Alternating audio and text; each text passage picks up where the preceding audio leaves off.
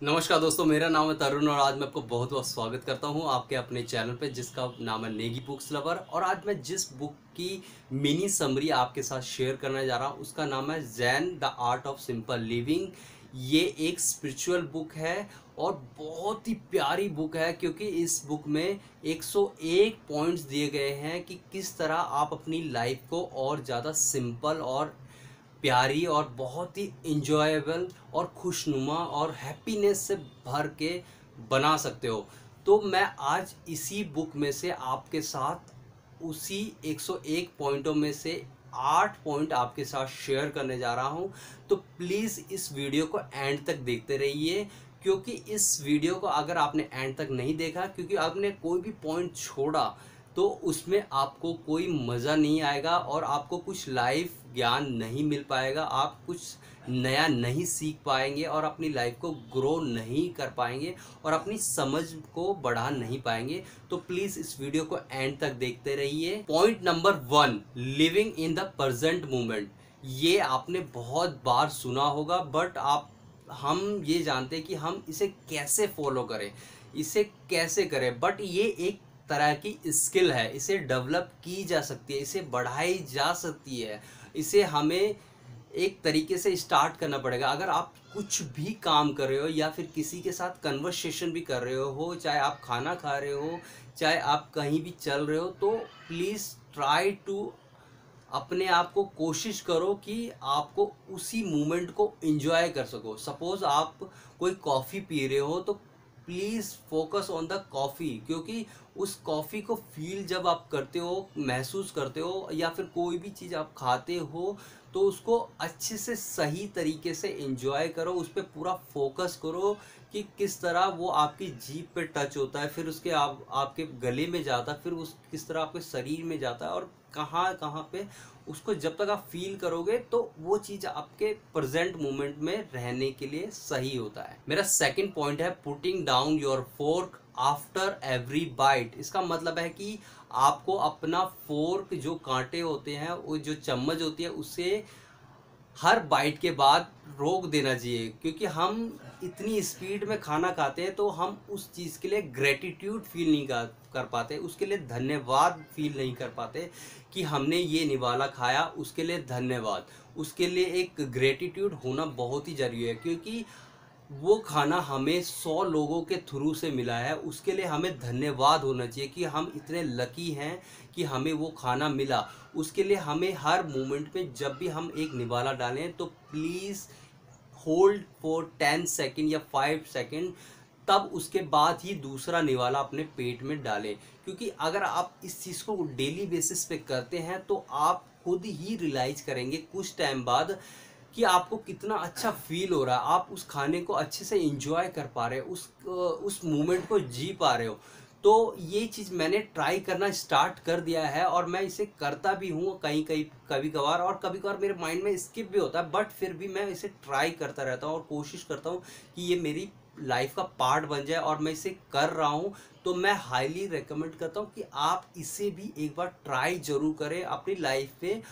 आप जब कोशिश करेंगे ना तो आपको उस चीज़ के बारे में पता लगेगा। क्योंकि आगे, अभी तो मैं आपको वैसे बता रहा हूँ और जब इस पे एक्शन लेंगे ना तो आपको खुद ही उस चीज़ को महसूस होगा कि आप प्रेजेंट मोमेंट को, अपने उस चीज़ के लिए जो चीज़ आप कर रहे हो और आप जो निवाला खाना अपने पेट में डाल रहे हो, उसके लिए आप ग्रेटिट्यूड फील कर रहे हैं तो आप कितना अच्छा खुश महसूस करेंगे, कितनी हैप्पीनेस आपके अंदर डेवलप होगी वो वर्ड्स में बताना इम्पॉसिबल है। मेरा तीसरा पॉइंट आता है रिव्यू योर कमिटमेंट्स अब इसका मतलब है ये कि आपने किसी से कोई कमिटमेंट कर रखा है, चाहे वो मिलने का कमिटमेंट हो या फिर आपको खुद ही अपने आप से कमिटमेंट हो कि आज मुझे सॉल्ट नहीं खाना, या आज मुझे शुगर नहीं खाना, या आज मेरे को फास्ट फ़ूड नहीं खाना तो उसके लिए आपको रिव्यू करना बहुत ही ज़रूरी है कि मैंने कौन कौन से कमिटमेंट कर रखे हैं।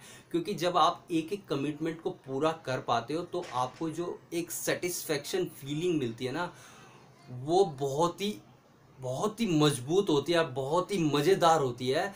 क्योंकि जब आप एक एक कमिटमेंट अपने आप से पूरा करते जाते हो, चाहे वो आप किसी से मिलना हो कमिटमेंट या फिर कहीं जाना हो कमिटमेंट या कुछ भी किसी तरह का भी कमिटमेंट हो तो अगर आप उसको पूरा कर पाते हो तो आप एक बहुत ही अच्छी लाइफ जी रहे हो और आप अपने लक्ष्य पे, अपने काम पे फोकस कर पाते हो। मेरा चौथा पॉइंट है throw out everything from your home और योर फ़ोन अब इसका मतलब ये है कि आपको वो चीज़ फेंक देनी चाहिए जो आपके यूजेबल नहीं है, क्योंकि जब आप उन चीज़ों को भी अपनी लाइफ में पकड़ के रखते हो, जो जिनका आप यूज़ नहीं करते तो वो आपकी लाइफ में आपके ऊपर एक भारी भरकम सा हो जाता है। वो आपके ऊपर हैंग हो जाता है, आपको हैंग करने लग जाता है।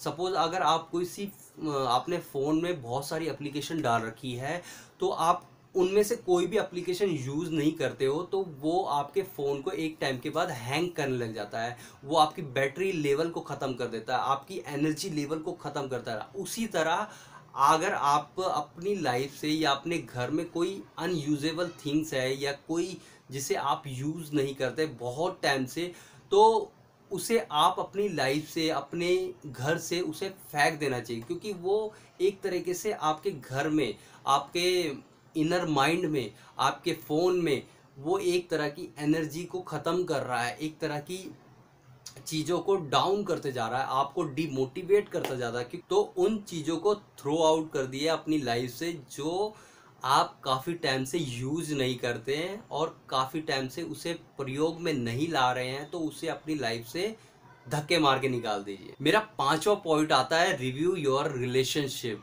अब इसका मतलब ये है कि हमें अपनी लाइफ में जो भी हमारे लिए खास हैं, चाहे वो हमारे पेरेंट्स हैं, चाहे वो हमारा लव वन है, चाहे हमारा बॉयफ्रेंड है, चाहे हमारी गर्लफ्रेंड है, चाहे मेरी वाइफ है, या कोई भी है जो आपके लव वन है, या आपके लिए पेरेंट्स हो सकते हैं, कोई भी ए टू जेड तो आप उनके लिए कितना टाइम निकाल पाते हैं, कितना आप उनसे बात कर पाते हैं, आप उनके साथ कितना इंजॉय कर पाते हैं, क्योंकि एंड ऑफ़ द एंड आप जितने अपने आप, अपने लोगों से या अपने जिनसे तुम, जिनसे आप लोग प्यार करते हो, उनसे जितने घुल मिल जाते हैं, क्योंकि एंड ऑफ़ द एंड वो आपको समझा पाते हैं कि आप क्या गलत कर रहे हैं, क्या सही कर रहे हैं और क्या अच्छा कर रहे हैं।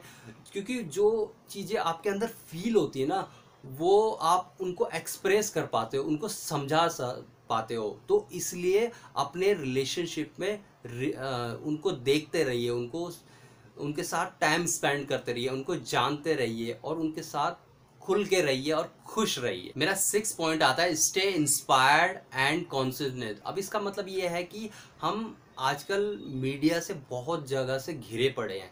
हम किसी को देखते हैं तो बड़ी जल्दी से मोटिवेट हो जाते हैं, बड़ी जल्दी से हम निराश हो जाते हैं। लाइक like सपोज़ अगर ने, हमने सोशल मीडिया पे देखा कि मेरे दोस्त ने कोई बाइक ले लिया या फिर कोई गाड़ी ले लिया तो हमारे अंदर भी फीलिंग आती है कि यार, मुझे भी बाइक लेनी चाहिए। और हम फटाक से एक्शन लेते हैं, फटाक से जाते हैं और उसे ई में कन्वर्ट करवा लेते हैं और उसे अपने घर ले आते हैं। और फिर एंड ऑफ़ द एंड कुछ टाइम बाद हमें इतनी गिल्टी फील होती है, यार, मैंने ये बाइक क्यों ले ली? मैंने ये गाड़ी क्यों ले ली? या मैंने ये घड़ी क्यों ले ली? या मैंने ये एप्पल का फ़ोन क्यों ले लिया? क्योंकि हमारे अंदर है ना, जो ठहराव नहीं है, हमने फटाक से एक्शन ले लिया। अगर आपके अंदर कभी भी ऐसी फीलिंग डेवलप होए तो आपको एटलीस्ट तीन दिन तक वेट करना चाहिए। अगर वो सच में आपके लिए ज़्यादा ही इम्पोर्टेंट है तो वो आपके लिए इम्पोर्टेंट है। तो ही वो आपके साथ तीन दिन तक रुकी रहेगी वो थॉट प्रोसेस अगर नहीं होगी तो आप वो तीन दिन के अंदर बिल्कुल आपके माइंड से गायब हो जाएगी। आप, आपको लगेगा कि यार ये मेरे लिए इम्पोर्टेंट ही नहीं है तो इसलिए मेरे को ये ज़रूरत फील फील नहीं हो रहा। है यार ये मेरे लिए इम्पोर्टेंट है, इसलिए वो मैं तीन दिन से इसके ऊपर टेंशन में हूँ, इस चीज़ में, इसको मेरे को चीज़ों को करनी है या इस चीज़ को लेनी ज़रूरी है। तो वो आप लोगे, क्योंकि वो आपके लिए ज़रूरत है तो आपको वो तीन दिन के अंदर पता लग जाएगा कि आपके लिए वो इम्पोर्टेंट है या नहीं है। थ्रोइंग पार्टीज़ अब यहाँ पे थ्रोइंग पार्टीज़ का मतलब है कि हमें, मैं यहाँ पे ये नहीं बोल रहा कि आपको पार्टीज़ में नहीं जाना चाहिए या ये नहीं करना चाहिए, वो नहीं करना चाहिए। आप लोगों को पार्टी में जाना चाहिए सोशलाइज होना चाहिए बट हम लोग क्या करते हैं पार्टियों में भी जाते हैं तो हम कितनी नेगेटिव नेगेटिविटी फैलाते रहते हैं। यार, यहाँ का खाना कितना घटिया है, यहाँ का ये चीज़ें घटिया है, या वो चीज़ घटिया है। हम उन चीज़ों को नहीं देख पाते कि वहाँ पे क्या क्या अच्छी चीज़ें भी हुई है। ऐसा तो है नहीं कि सारी चीज़ें वहाँ पे गंदी ही होगी। हाँ माना कि कई कई पे जगह पे खाना भी ख़राब होता है, पानी भी ख़राब होता है तो चीज़ें होती है कई कई चीज़ों पर होती है। बट ये नहीं कि हर चीज़ ख़राब ही होती है। तो अपना पॉइंट ऑफ़ व्यू को चेंज करें, क्योंकि अगर आप किसी की पार्टी में जा रहे हैं या किसी की शादी में जा रहे हैं तो उन्होंने कितनी मेहनत से वो पार्टी ऑर्गेनाइज करी है, कितनी मेहनत से उन्होंने हम सबको इनवाइट करा है, कितनी मेहनत से उन्होंने हमारे लिए ये चीज़ें डेकोरेशन करी है। तो हमें उन चीज़ों के लिए थैंक्सफुल होना चाहिए और अच्छी से अच्छी वाइब को, अच्छी से अच्छी थॉट्स होते हैं, उन्हें रिवील करना चाहिए, उन्हें बढ़ाना चाहिए, उन्हें दिखाना चाहिए कि I am the very very happy person कि हम यहाँ पे आए और हमें बहुत ही अच्छा लगा। ना कि इसकी जगह कि हमें ये देखना चाहिए कि यार ये गलत है, वो गलत है, ये फलाना है। तो अगर आपको पार्टी में जाना पसंद है तो जाए। तो कोई, उस पर कोई बुराई नहीं है। अगर आप पार्टी में जाना पसंद नहीं करते हैं लाइक मैं पार्टियों में बहुत कम जाता हूँ। मेरे को बहुत लोग शिकायत भी करते हैं, यार, फलाने का लड़का है, ये इसका लड़का है तो पार्टी में नहीं जाता, वो चीज़ नहीं करता वहाँ नहीं जाता।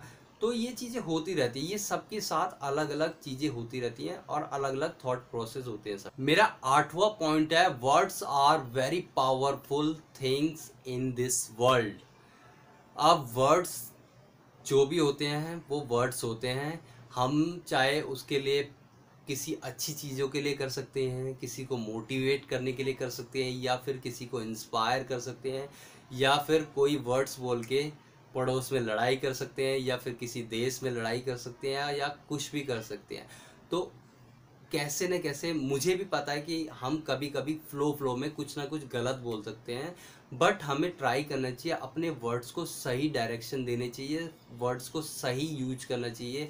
जहाँ पे हमें अच्छा फील हो तो हमें वहाँ पे सामने वाले को मोटिवेट करना चाहिए, उसके लिए थैंक्स बोलना चाहिए, उसके लिए मतलब जितना ज़्यादा हो सके हमें पॉजिटिव होना चाहिए और सही चीज़ें अपने आसपास फैलानी चाहिए। ना कि हमें पता है कि वर्ड्स एक एक सच में पावरफुल चीज़ है, क्योंकि अगर आप किसी को वर्ड्स के थ्रू अच्छा भी बोल सकते हो वर्ड्स के थ्रू आप किसी को बुरा भी बोल सकते हो तो कुछ भी हो सकता है। चाहे आप अपने रिलेशनशिप को बढ़िया भी बना सकते हो और उसे बहुत ही बेकार भी बना सकते हो। तो अपने वर्ड्स को अच्छे से सिलेक्ट करें और अच्छे से बोलें। ये थे मेरे आठ पॉइंट के the art of simple living ये बहुत ही प्यारी बुक है। इसमें बहुत ही अच्छे अच्छे थॉट्स प्रोसेस दे रखे हैं। बहुत ही अच्छी चीज़ें बता रखी हैं जो हमें पता भी नहीं थी। और मुझे तो सच में बहुत सारी चीज़ें इस बुक को पढ़ने के बाद पता लगी कि भाई ऐसा भी होता है और हम ऐसे भी सोच सकते हैं और ऐसे भी समझदार बन सकते हैं। तो अगर आपको ये बुक को पढ़ना है, अच्छे से पढ़ना है तो प्लीज़ जाओ, मैंने लिंक डिस्क्रिप्शन में दे रखा है, आप इस बुक को वहाँ से भी बाय कर सकते हो। अगर आप इस चैनल पर पहली बार आए हैं तो प्लीज़ इस चैनल को सब्सक्राइब करें और बेल आइकन को दबाना ना भूलें। और अगर अभी तक आपने मेरे को सोशल मीडिया पे फॉलो नहीं करा है तो प्लीज़ जाओ, मुझे सोशल मीडिया पे भी फॉलो कर सकते हो।